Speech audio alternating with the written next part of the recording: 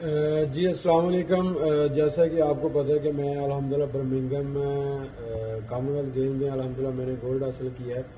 और मैं international Olympics committee का मैं शुक्रिया अदा करता हूँ, जिन्होंने मेरा स्कॉलरशिप लगाया है 2024 पेरिस ओलंपिक्स तक।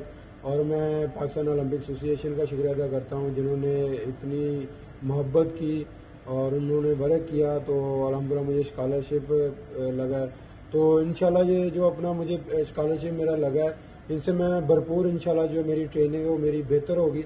और मैं पूरा फोकस करूँगा कि मैं इन पैसों से अपना जो ट्रेनिंग बेहतर कर सकूँ। और जैसा कि आगे पेरिस ओलंपिक्स हो रही है, उसमें अच्छा परफॉर्म करूँ और पाकिस्तान के लिए मेडल लेती हूँ। Thank you